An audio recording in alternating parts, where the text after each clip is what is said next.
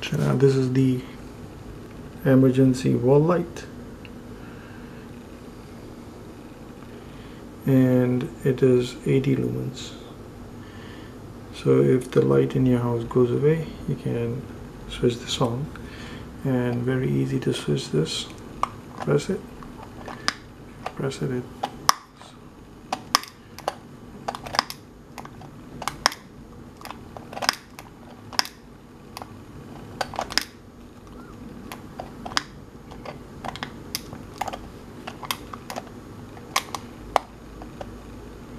there you go.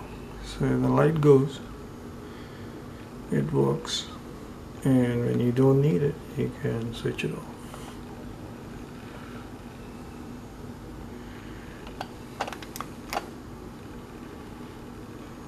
So that is about the emergency wall battery. For some reason this switch is not working properly. Hmm. Maybe you need to press the yeah you need to press with both the fingers.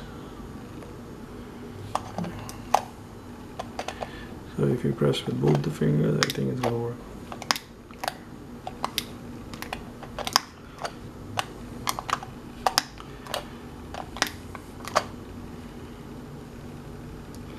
Yep, you get what you pay for. But it works.